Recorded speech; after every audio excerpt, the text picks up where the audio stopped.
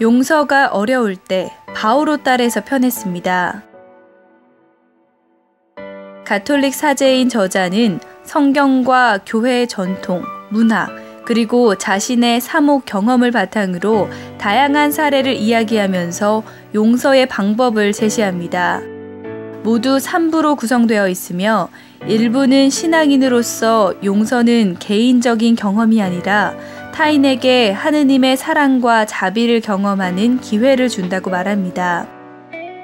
2부는 용서의 7가지 특성을 잘 정리했고 3부는 기도, 미사, 성사, 성찰 등의 방법을 통해 용서에 접근하고 있습니다.